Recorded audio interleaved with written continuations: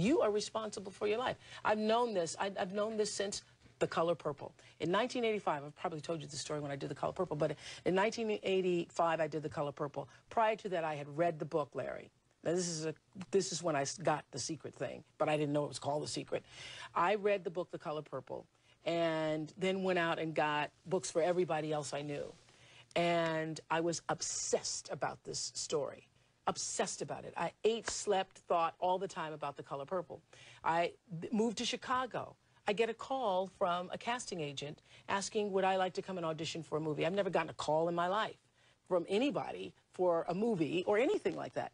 And I say, is it the color purple? And he says, no, it's a movie called Moonsong. And I go, well, I've been praying for the color purple. And I go to the audition, and of course, it was the color purple. I audition. I don't hear anything for months.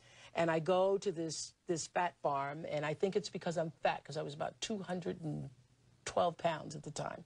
And I think I didn't get the call back because I'm so fat. And I'm at this fat farm, and I'm praying and crying, saying to God, uh, help me let this go because I wanted to be in this movie so much. I wanted it, I wanted it, I wanted it. I thought I was going to be in the movie. There's all these signs that I should be in the movie. And I go to this fat farm and I'm praying and crying. And as I'm on the track singing the song, I surrender all, I surrender all, all to thee, my blessed Savior. I surrender all. I'm singing that song, praying and crying. A woman comes out to me and she says, on the track, it's raining, and she says, there's a phone call for you. And the phone call was Steven Spielberg saying, I want to see you in my office in California tomorrow. Now, what I learned from that, it, that moment absolutely changed my life forever because I had drawn the color purple into my life. I didn't know Steven Spielberg. I didn't know Quincy Jones, who saw me in Chicago.